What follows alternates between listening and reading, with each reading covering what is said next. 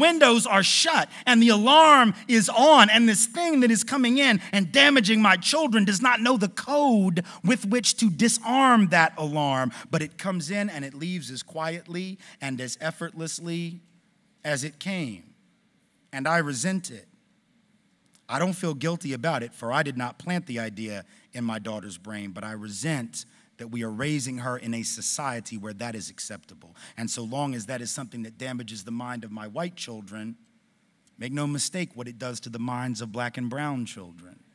For when black and brown children see those images of divinity that look nothing like themselves, when they see those images of the first human beings in these Bible story, picture, children's books that are absurd renderings of the first humans who we know from all biological, genetic, and anthropological evidence would have been dark skinned Africans, there is not even a debate about that anymore. When we allow children to see those images, it doesn't only instill a false sense of supremacy amongst my children, it can, if we are not careful, instill a sense of internalized depression and internalized inferiority in the mind of black and brown children. And as long as our minds are colonized, we cannot possibly be free because once the mind is colonized, it is the most important territory in this system of white supremacy.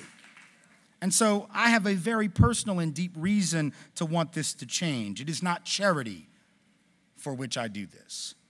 It is not to help or to save others. Please make no mistake about this. The reason that I and the reason that other white folks historically, not enough, but more than we were taught about in school, have stood as allies in solidarity with people of color is because of what it does to us, the damage that it does to us, the damage that it does to our families and our communities, even as it gives us immense advantage and privilege and opportunity. The cost of this continued system is too high, and not only for the targets who are people of color, but for the collateral damage who is everybody else. Thank you all so much for being here.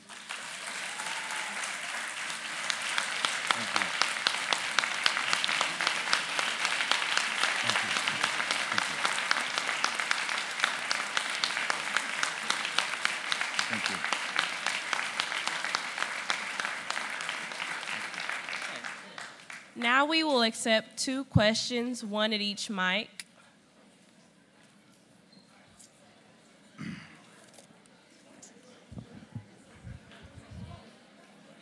Thank you all so much. Okay, so we'll we'll do a couple of these. I, I went longer than I was supposed to. That's that's on me. Sorry about that. We'll start down here. Yeah. How you doing, sir? My name is uh, Ron Mack, the hip optimist, and you mentioned those uh, those folks who taught you more about black and brown truth yeah. than the uh, academics. Yeah. Um, and, and conversations and information like that has been in the black community. So my question is, do you think that you can communicate the truth you speak to the dominant group you spoke about easier than black men and women with the same truth? Um, well, I mean, the obvious answer to that at least at this point in our history, is yes. And it's not because um, I know it better or say it better, but it is because when people have internalized a sense of supremacy, they will often disregard truth when it comes from those who they've been led to believe do not have the capacity to tell them truth. So if white folks have internalized racism, and we have, we will hear anti racism from other white folks quicker. If men have internalized sexism, and we have, we will hear it anti sexist messages from men more readily. The, the real goal is when folks of color can stand up here in front of white folks and say the very same thing and be taken every bit as seriously. In the meantime, in the meantime, those of us who were white have to follow the advice which the black leadership of SNCC gave to us in 1967. So the history tells us that whites were expelled from SNCC in 67. It makes it sound that it was this very personal kicking out, like a very mean thing. But when you talk to the folks who were involved, as painful as that decision was, it was painful for everybody. And I've talked to black folks who were involved in the so called expulsion, I've talked to the white folks who were so called expelled, but there was an understanding. As regrettable as it was that things came to that point, there was an understanding on the part of the white folks as to why it was happening and what we had to do and what SNCC was telling the white folks in the organization was you got to go work with your people because they will not listen to us. So if you can do that and open that door for people in the white community, fine. And so, you know, 90% of the talks that I give are specifically with those folks who have learned to disregard that truth from people of color. So it's a regrettable truth that the answer to your question is yes, but so far as I can tell right now, that, that is the answer. But I still think, as a matter of accountability, I always want to point out that the truth that I know, other than my own personal story, which I know, came from folks of color. So if white folks hear it and go, oh, that was really brilliant. Oh, that was great. Oh, I never heard that before. Well, you heard it a million times before. You just had the luxury of ignoring it. So let's stop ignoring it, and then we can hear truth from everywhere that it comes. Yeah. Good evening. My name is Larissa, and I'm a student here at Philander. And I was just wondering, how can we as individuals help this change and wake up from denial? How can we make this change to diminish the margin between racial suppression, the uneven privilege?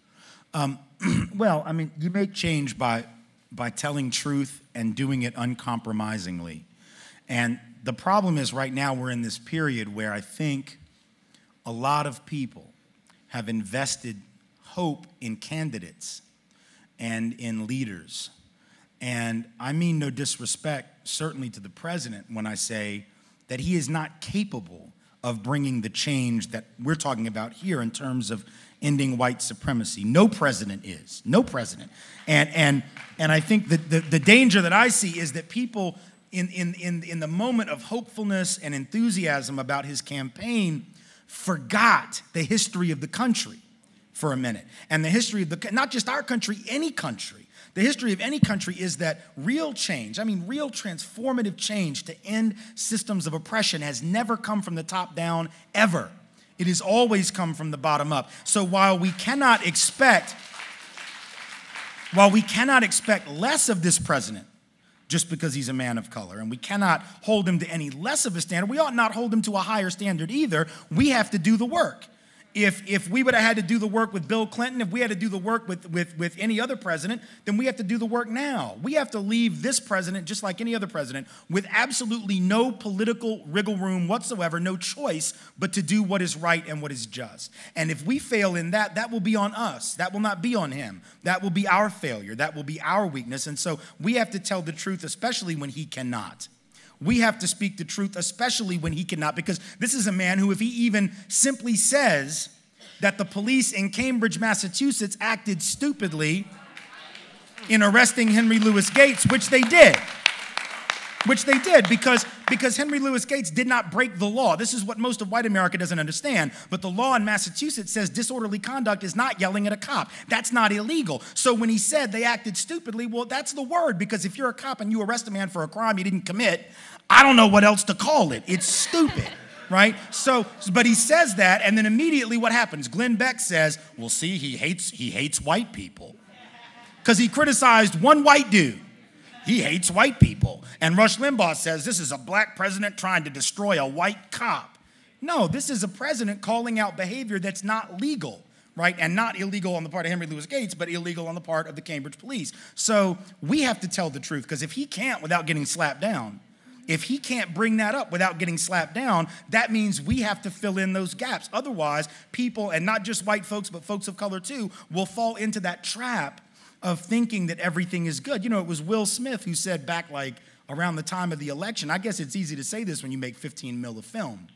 But Will Smith made the comment on Oprah Winfrey's show that what he liked about Obama was now all our excuses are gone profoundly disrespectful because it's like saying, well, racism is just an excuse that my people, meaning black folks coming from him, that we use. It's not an excuse, it's a reason why people face obstacles. It's a reason why things go down the way they do. But even he fell prey to that. And a lot of folks, you know, were excited and I understand that. And people said, well, now I can tell my children they could be anything and actually mean it. And that's deep, that's profound. And for those of us who've never had to think about that with our kids, we, we need to really think about what that means. At the same time, let's not get carried away.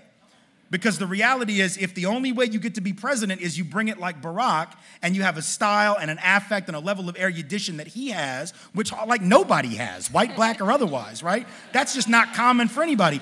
Then what ends up happening is we end up creating an archetype of acceptable blackness right? A very narrow archetype of ideal. As long as you're like him, it's fine. But if you wear your hair in locks, no, no. If you didn't go to Harvard, if you only went to Philander Smith, oh no, oh no, right? So we have to guard against that. Those of us who are white, those who are of color, we have to keep demanding that excellence and merit and ability be seen in a multiplicity of ways. Because for those of us who are white, we've never had an archetype of acceptability. Like you can be really articulate if you're white, or you can be like the opposite of that and still become president of the United States.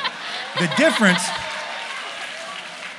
so we have to we have to constantly remind ourselves and the places where we work and the places where we go to school and our family and our communities about not getting so caught up in the hype of a president of color, as important and symbolically meaningful as that is, that we forget the systemic truth the systemic piece. And I think if we keep telling that truth over and over, start right where we are, I think the fact that this institution has this built in commitment to social justice is a model for schools around the country. I wish it is one that other schools would adopt and copy, but until they do, until they do, you keep doing what you're doing here and you serve as. Uh, as as uh, uh, uh many of us used to say back during the anti apartheid struggle, vis a vis South Africa, and as we used to talk about with regard to the struggle against US intervention in Nicaragua and El Salvador in the 80s, serve as the threat of a good example, right? the threat of a good example, when you demonstrate a model that is replicable, that not only provides top notch education, but also prepares people to change the world in which they find themselves, that becomes a model. That becomes something that allows other people and draws other people to you. So I think you keep doing what you're doing, uncompromising. Do not use nice words and pretty words to try to cover up what is criminal behavior, because that's what the system is, is criminal behavior. Thank you. Thanks. Thank you. Can we do a couple more real quick? Okay, okay, yeah. yeah. Good evening. I would like to know what impact does the fact that the U.S. does not acknowledge and denies the institution of slavery against blacks, the genocide against the Good Aboriginal question. people, have on the U.S.? And why have places like South Africa and other places initiated reconciliation and we haven't? Well, I think the reason that, well, the impact that not acknowledging the horror of the Ma'afa or genocide of indigenous people has on us as a nation is that it allows us to remain in this state of, of perpetual denial and childishness. I mean, this, this, this inability to say the fundamental truth that Reverend Wright spoke, from which President Obama had to distance himself. And what he said was far more accurate version of American history than that which any of us learned in high school and yet you can't say it. Not because it isn't true, but because you're not allowed to say it, because to say it means you hate America. This is interesting. They even have a word for it, anti Americanism. Now, think about the uniqueness of that. Like, if you crit- criticize the history of France, what is the word for that? Anti Francism? No, that word doesn't even exist. Other countries are not so egotistical that they even come up with a phrase to describe when you don't like them. But we have a phrase because we're so damn special you know and so people so people act like we're the greatest nation ever struck off from the forehead of god right and, and, and then when you bring up the stuff that you mentioned, what do people say? They say, well, that was a long time, that's a long time ago. We need to let that go. Okay, I have a little thought experiment. Actually, I want you to try this. Actually, I don't recommend you try this because I don't want you to become the victim of physical violence. So just think about it. July 4th. Think about this. Go out to a July 4th parade. I want you to go up to somebody who's got a big American flag pin on. The Boy Scouts are marching by. They got flags and trumpets and beating on drums, and everybody's, and they're getting ready to shoot off fireworks. And I want you to go up to somebody that's like crying through their patriotic tears.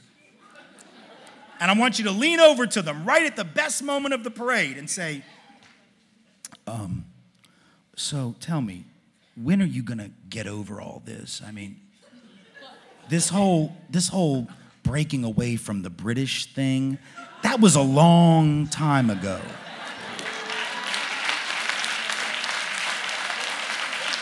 And it just seems to me that you ought to move on. You see, you will get you'll get knocked upside the head. Somebody would think you were crazy. We love to remember the past when it makes us look good. We don't want to deal with it when it doesn't. The reason we won't acknowledge it is the crime is ongoing. If the crime is not ongoing, nations will acknowledge, right? So South Africa could acknowledge because apartheid fell and they began immediately to rebuild the country on a different basis, right? Even the Germans have gone far, far much further down the road in acknowledging their crimes during the regime of Adolf Hitler than we have ever gone. In Germany, they actually teach children about the, the, the, the Shoah, the Holocaust, the extermination not only of Jews, but of, of Romani and, and of homosexuals and of, of, of just anyone that Hitler deemed undesirable, disabled folks, anybody. They acknowledge that. In this country, you know what we do? There was an article in the, in the paper, I'm from Nashville, there was an article in the paper about six, seven years ago where the Tennessee Department of Workforce Development, they're the folks who do the GED program for high school, they're the ones that design the curriculum. Instead of talking about enslavement and native genocide, they thought they want to teach a class on tolerance. Okay, that sounds good. So they want to teach a class on tolerance. They had to figure out what we're going to put in it. And they taught the whole class was about the Holocaust of European Jewry at the hands of Hitler. Now, how is that? We need to teach about the injustice of man to man. I wonder what we might start with. Let's see. Let me look out the window of our building here. Oh, look. If I look 10 miles that way, there's the Hermitage. That'd be Andrew Jackson's old house. We could start there. No, no. We'll just start with Germany 60 years ago. How about that? We'll do that because that's safer. Now, if Germany were to have a class on tolerance and all they did was talk about what we did to native people, and, and, talked about what we did in this country to people of African descent, we would think that they were crazy. Aren't, aren't you forgetting something? That's what we would, y'all, y'all, y'all are leaving out something, something that y'all did. Why, why don't you have, oh no, we can't talk about that. Because when the crime is ongoing, you don't talk about it. When the crime, or at least functionally speaking, has ended and the residue is being dealt with, then you can deal with it. We aren't dealing with it because the crime is still happening. And I think that's the, the fundamental truth. Um, and so, again, the only way that changes is if we have an honest conversation about that legacy. That legacy of enslavement and native genocide, it isn't just the material consequences, that was bad enough. It's also the psychological consequences because what enslavement does is it plants the seed of a notion of superiority or it plants the seed of a notion of inferiority in the people who live in that society. And so, even when the laws change, even when certain customs change, those mentalities can remain. The idea that people of African descent were inferior, the Greeks didn't think that. Right? In, in, in ancient days, people of European and Mediterranean descent did not think that. That was a new thing, and that is the outgrowth of the slave system. Slavery create it wasn't the there was no mentality of white supremacy first that brought about slavery. Enslavement and genocide of native peoples needed a rationale. They had to come up with a reason to make this okay. And they come up with the notion of white supremacy. So, white supremacy is what is born from the system of enslavement and genocide. And that's the thing that, that, that, we live with today. So even when the laws change, even when certain areas of, of, of life have, have we've seen progress, that mentality, to the extent it's still here, we're still living with the issue of that birth. And we have to deal with that legacy. And it's, it's going to require a lot of truth telling. It's going to require white folks acknowledging the damage that that mindset of white supremacy has done to us. And it's going to require people of color dealing with the internalized oppression piece. And, and neither of those are easy, but both of those are necessary. Yes, sir.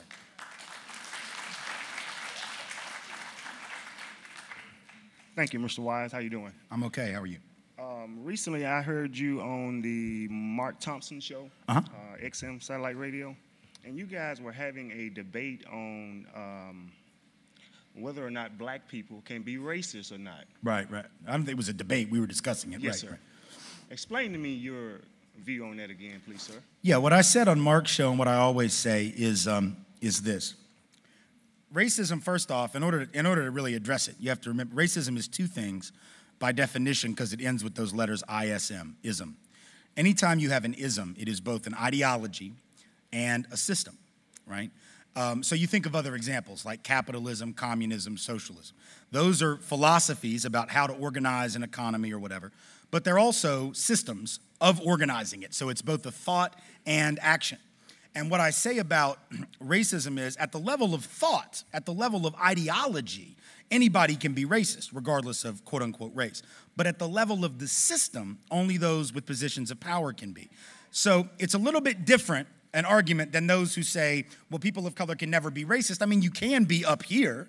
You can think yourself superior or other people inferior. The point is, you can't do much with that. It's like, I can be a capitalist in North Korea, but I ain't going anywhere with that. I can be a communist in a really heavy capitalist country like the United States, but I ain't going anywhere with that because I don't have the power to take my beliefs and turn them into effective action. So the metaphor I use sometimes is a stationary combustion engine. If you think of a stationary combustion engine, it's an engine, right? Think of that as ideological racism. It's there, you know what it is, you can see it when you see it, but only when you add the gasoline, right? Which is the uh, which is the equivalent of the power of the institutional power, does it actually run? So it's not that the stationary engine's not an engine, and it's not that ideological racism isn't racism. It just doesn't go anywhere. It doesn't do anything. And so I think that's a distinction that I that I want to make is that, and, and that's and that's I'm speaking specifically about our country, and I'm speaking specifically about at this time. It's not that at some future place in some other corner of the globe at some future date a person of color could not wield structural power. And individually, there may be cases where individual people of color with positions of authority wield it in an unfair way that harms a person who happens to be white. But as a matter of systemic truth and institutional daily reality, the two things just aren't remotely comparable. So, yes, people of color can quote unquote be racist, but not at the level of actually affecting the life chances or choices or opportunities of white people to any real extent. Yeah. Our SGA is going to make a presentation. Okay, very good, very good. Thank you.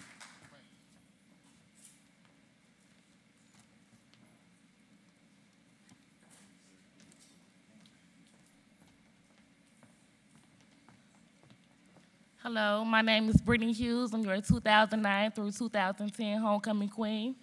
And go ahead. Yeah, my name is um, Brian Benjamin Holmes, and I'm your 2009 2010 homecoming king.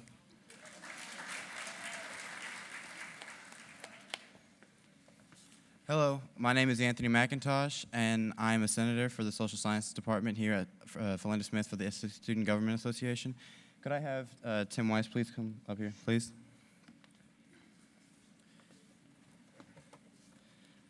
Um, on behalf of the Philander Smith student, uh, Philander Smith student body and the SGA um, student government, we would also we would like to present this plaque in acknowledgement of your advocacy for social justice. Thank you.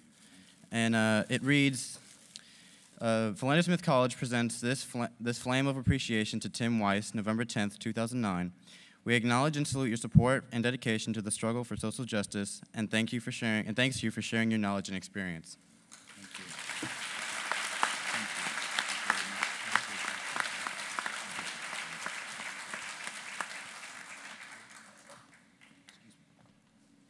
All right. Give me four minutes. That's all I need. Uh, first, let me have Veronica and Carrie to stand up. They are students on the program tonight.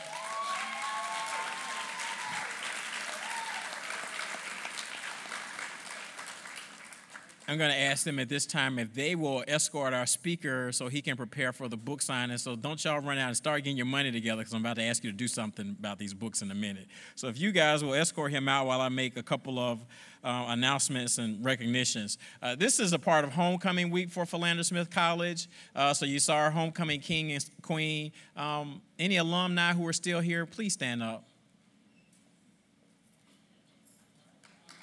All right.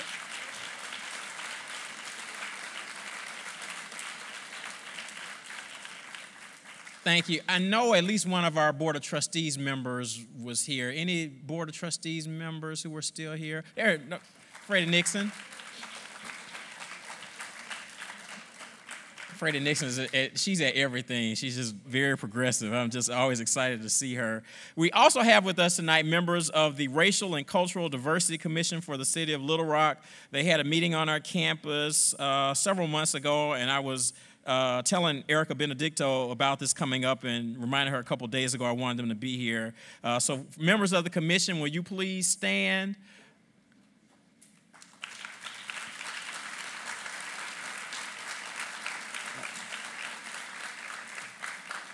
Thank you. Let me acknowledge the chair, uh, Dr. Dennis Burrow, who is no stranger to our campus as well.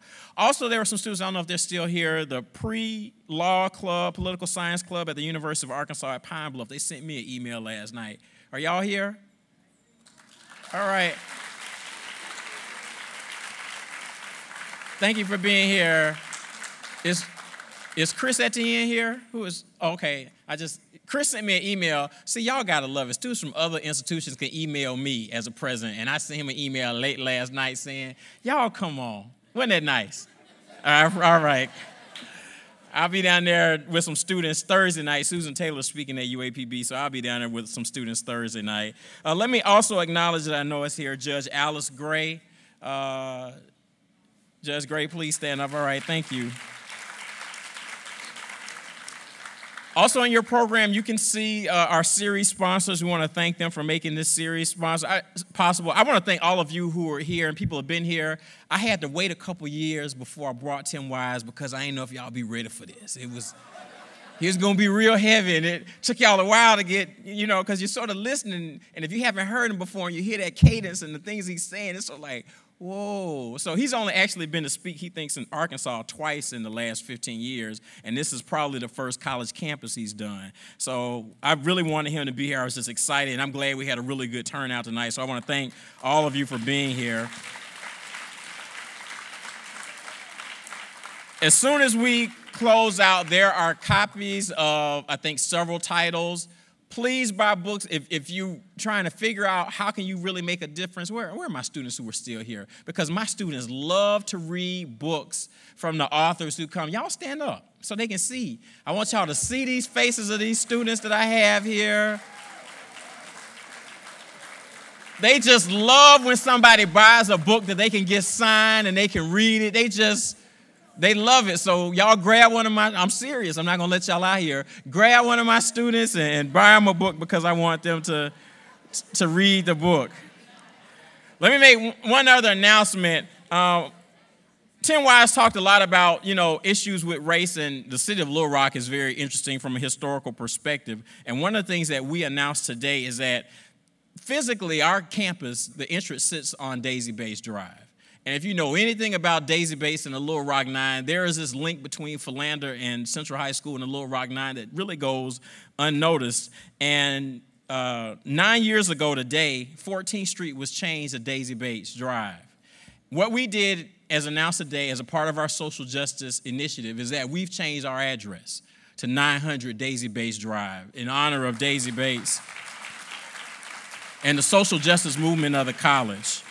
Her birthday actually will be tomorrow on uh, November 11th. So you'll see the new address because as more and more people come to campus, and they were trying to figure out where exactly we are. So if you say 900 Daisy Bates, it's really easy to find, corner Daisy Bates and, uh, and Chester Streets. So I wanted to share that with you today. The last speaker for this calendar year, he's been going, he, he had the flu. I think he had the swine flu. Actor Columbus Short from the movie Stomp the Yard. I've been working with his folks, and we had a date, and he got sick, and he couldn't make the second date. So this is our third time trying it, and he had to be healthy because I have all kind of women just want to love on him. So he got to be healthy by the time he comes. Next Wednesday, November 18th, Columbus Short will be here, and then we'll start off next semester.